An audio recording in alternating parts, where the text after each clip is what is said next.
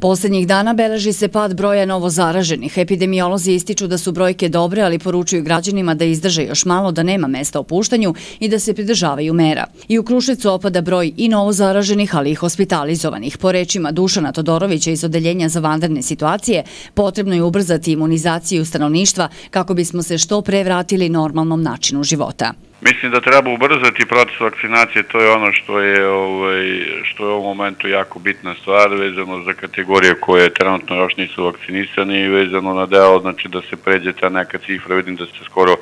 ajde kažemo, 15 dana vrtimo tu oko nekih 2000 između 30 jedne i 33.000 vakcinisanih ovoj prvom dozom, tako da mislim da tu treba taj deo vakcinisati i da ljudi da ljudi ovaj, izađu i to odrade kako bi kako bi to, ajde kažemo, rešavali u nekom bržem periodu, a da nam se to ponovo ne ponavlja tokom narednog nekog perioda letnjeg kad ovaj, e, možemo da očekujemo ponovo, ponovo ovaj,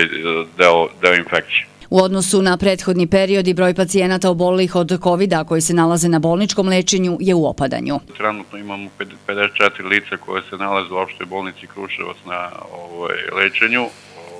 od, na infekcijnom odelenju, a da na, da kažemo, u COVID bolnici Unitetskog kliničkog centra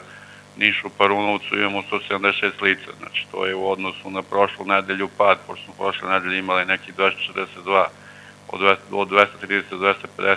lice koje su se nalazile, pa išli do 300 lice koje su se nalazile na,